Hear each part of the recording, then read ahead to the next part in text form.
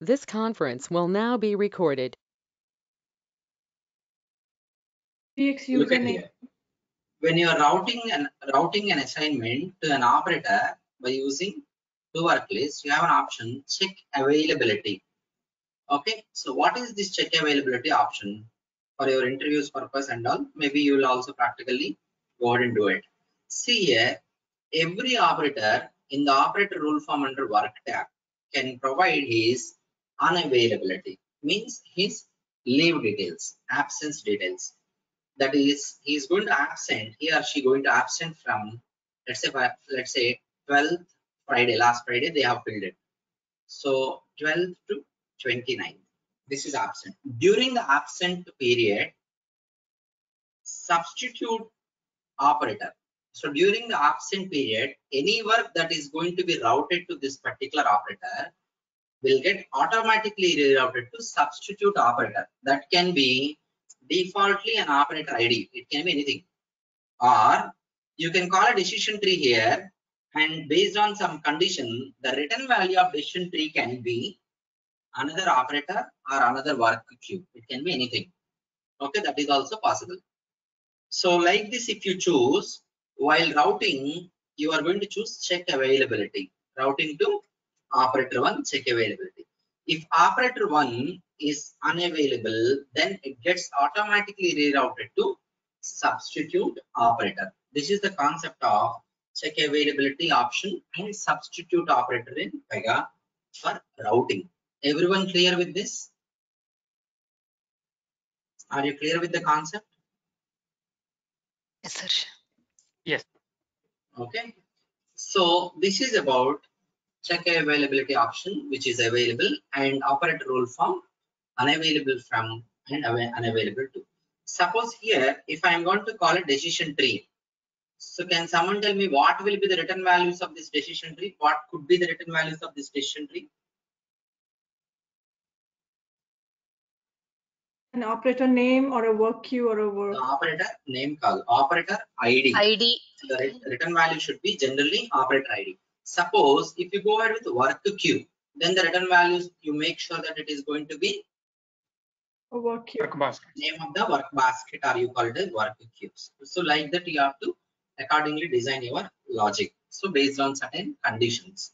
So like this, you can have a substitute operator mentioned during the absent period of an operator where the routing is going to happen to the substitute operator if the during the unavailability of current op. So whoever whomever you are routing Here- when you select the option check availability if you don't select check availability then this won't happen yes please Here you've written an operator OP1. What is OP1?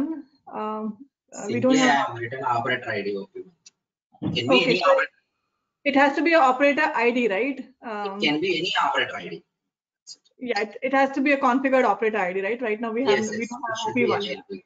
Yeah. yes correct okay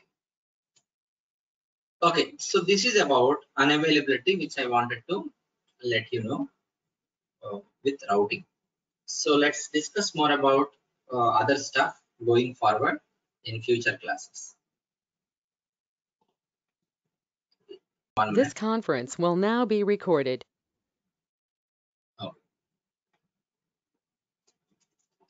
Types of flows. So those who are already working on pega how many types of flows we have?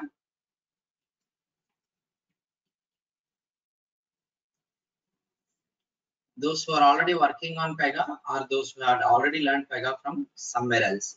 How many types of flows we have? Uh, two types. we have three types of flows. So what are those process flow. Second one subflow. Third one screen flow. Third one screen flow. Process flow subflow and screen flow. See process flow the- these are flow types. Okay.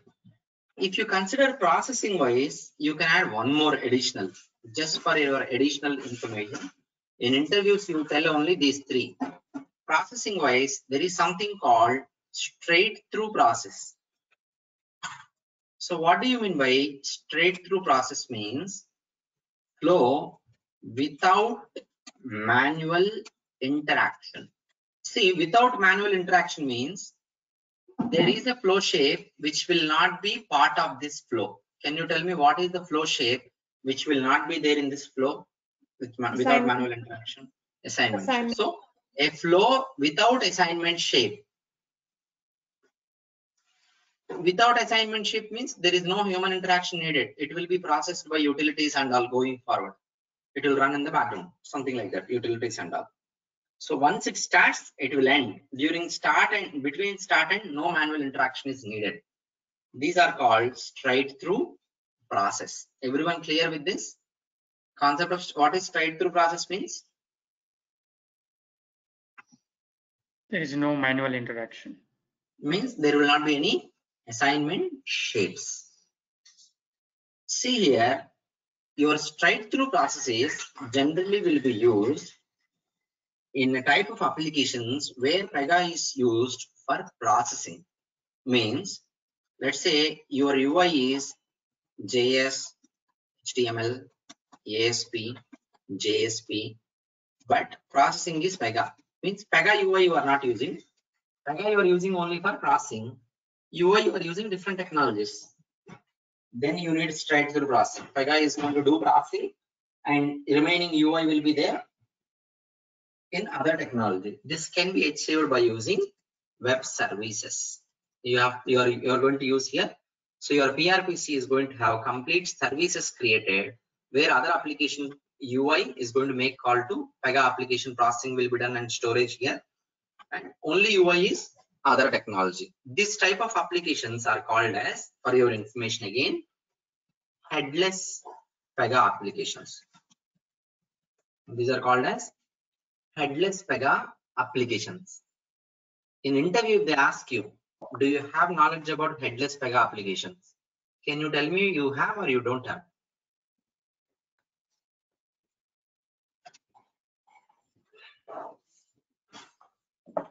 We should say yes. You should say yes, Yes. because you know everything in Pega. UI plus processing. They're asking without UI, you have experience. Yes, you should have experience for that. We, the, the, the reason why you have experience is maybe your application is not like that, but you should be able to work on it because your application has both head as well as this processing. So if you remove that UI part from Pega and some other application and you learn services in Pega, remaining everything will be same. Okay, so this is something additional information which I want to tell you related to straight through processing. Everyone clear about the concept of straight through processing and when it will be used in general? Harsha, I have a question, Harsha.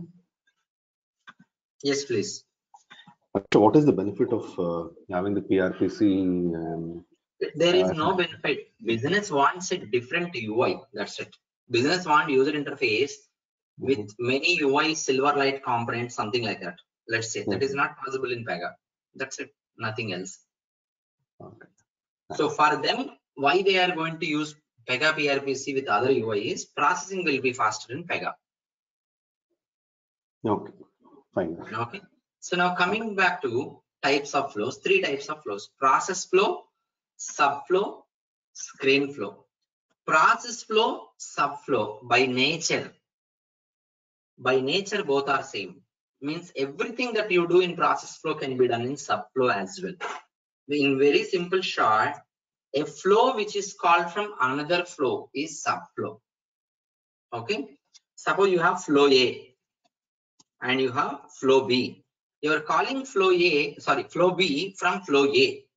Then here flow B is referred as subflow. You have flow C. Flow C is called from flow B. Then flow C is subflow to flow B, which is subflow to flow A. Process flow is the one which is starting flow creates work object for transaction. So that is process flow. Subflow will be called from process flow. So it has all features. It can create a work object that is possible. That's up to you whether you create or not. screen flow is something different, which I will tell you in few minutes. You, we can call a flow from another flow by using a flow shape. Let me show you the flow shape.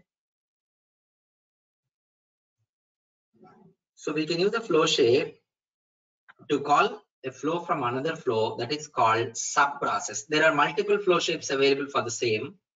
I will tell you about other flow shapes later that is called as sub process. We can call a flow from another flow by using sub process. You can call another flow, another sub flow, or you can call screen flow also from a flow. This is clear everyone. So let's go ahead now and discuss more about this process flow, subflow and screen flow. So what is the name of the process flow when you create a case type which is responsible for creating work object? Can someone please tell me name of the process flow when you create a case type which creates a work object? By default.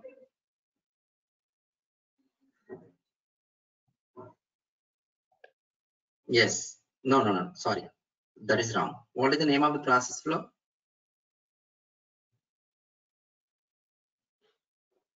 P, P by start case.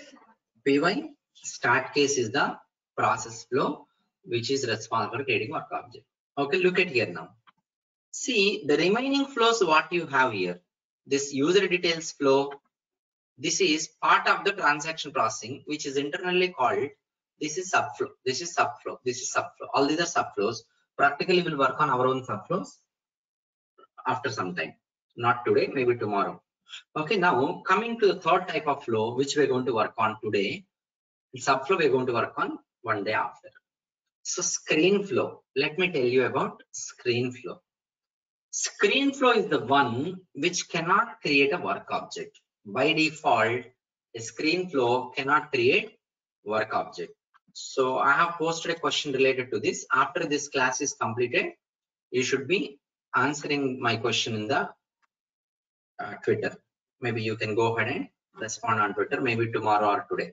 So the way how you create a flow, same process, same navigation to create a flow. Name is, let's say, some name. So here you click on create and open. It creates either a process flow or subflow. Depends on how you are going to make use of it. Instead of that, you have an additional option, view additional configuration options, standard template for screen flows. If you're going to use this standard template for screen flows and click on create and open, then this is going to act as a screen flow. If you go to screen flow, process tab of the screen flow, you see creates a new work object option, which is disabled. What happened? Creates a new work object option is being disabled. That means a screen flow by default cannot create a work object. Screen flow by default cannot doesn't have capability to create a work object, but still we should be able to create work objects using screen flow. Still we can make a screen flow as starting flow of your transaction. That is possible. A screen flow cannot create a work object. A screen flow by default cannot be starting flow of your transaction. But if you want to still make it, we can make it. Now, diagram tab. So in the diagram tab, you see here, generally tell me someone, someone tell me, where do we call the flow action? In the flow, uh, in- from the Outward. outward assignment, outward connector for the assignment. So outward connector from the assignment. That is in case of process flow or subflow. Here the option is not available. If you closely observe, there is no option to call flow action. But here you double click on the assignment shape itself. So here you have flow action option available. I, if I check out, it will come to editable mode. It will come to editable mode. So you have flow action option available here. So you can call flow action in screen flow directly on the assignment shape instead of its outward connector. Okay. So now here you go with whenever you are working on assignment shape in case of process flow, there is a possibility in case of process flow, you can call more than one flow action for assign per assignment. So you need to watch, you can note down somewhere, go to YouTube channel and watch the video likelihood to understand calling more than one flow action per assignment in case of process or subflow. you need to watch the video of likelihood. Recently, I have posted. Okay, now coming back to screen flow. In a screen flow, per one assignment, we can call only one flow action. But in process flow, per assignment, at assignment, we can refer more than one flow action that is possible. Everyone clear with this difference? One is design wise, in screen flow, we will be calling the flow action directly on assignment shape. In process flow, we will be calling on assignment shape output connector. In screen flow, we can call flow action one per assignment. In process flow, we can call n number of flow actions at assignment. You need to watch likelihood video. Now, look at here. So in we have discussed about harness you remember perform harness where is the perform harness rule called in case of process flows where it where is it available On the assignment. on the assignment shape see suppose in a process flow just imagine we have five five five assignments for each assignment can i call different different harness rule is it possible or not possible Suppose assignment one, harness one, Yes. assignment two, harness two, assignment three, harness three. Is that possible or not possible? Possible. It is possible. Okay, so like this, for assignment, you can have different different harness. That's up to you what you wanted to call there. In screen flow, harness option is not there on assignment shape. It is not provided on assignment shape. Instead, harness option you see on start shape. In the start shape, you have harness option. Means in a screen flow, you have more than one assignment. Let's say I'm going to add more assignments. In a screen flow, all the assignments are going to share same appearance, means same harness. Everyone clear with this? In process flow, at each assignment, we can have different harness. That is okay. But in screen flow, harness option is available at start shape. That means all the assignments in screen flow will have same appearance, same harness. Everyone clear with this? Yes. Now, additional to this, if you double click on start shape, you have routing. Route to work list, route to work basket. Either of these you can choose. See, when you work with routing in case of screen flows, routing option is available on start shape instead of assignment shape. That means in a screen flow, if I have 10 assignments, all 10 assignments should be worked on by only same operator, one operator. The same operator should work on assignment. In case of process flow, each assignment has routing option. That means assignment one, I can route to operator one. Assignment two, operator two. Assignment three, operator three. Assignment four, operator four. Assignment five, operator five. Assignment six, operator six. Like this, a number of assignments can be routed to a number of different work lists or work basket. But in case of process flow, uh, sorry, that is in process flow or subflow. But in case of screen flow, all the assignments must be worked on only by one operator so this is called the- uh, sorry this this is this is because routing option in screen flow is available at start shape instead of individual assignment shape. Everyone clear with this? Yes. okay next point. See here the harness option which is there in start shape by default you have tabbed screen flow. Screen flows are again classified into three types. Okay those are tabbed screen flow based on their appearance. Tree navigation and what is the last one is perform screen flow. Perform screen flow looks similar to perform harness with little difference i will tell you. Tabbed tree navigation. Tabbed means by the name itself you should be able to tell me. How it should be visible? In different tabs. Each screen should be each assignment will be like one tab. Tree navigation means tree of links. This is tree representation. This is tree. Link one in that link one link two link three like this. Click on the link assignment. This is another assignment. This is another assignment. I'll show you practically. So this is different types of screen flows. See in a screen flow, mainly you, you find the appearance difference. That is, in process flow, we have at the assignment submit button. Submit button will be there. Remaining two buttons you can ignore. Okay. But in case of screen flows, you have next button, you have back button.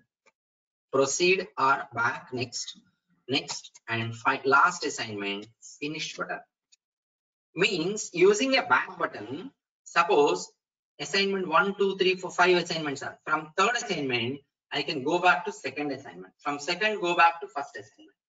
From there forward. So forward and backward navigations are possible in screen flow, which I will show you practically.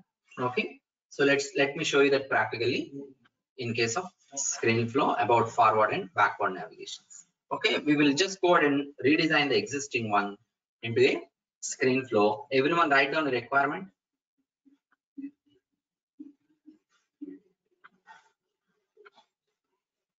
This conference will now be recorded.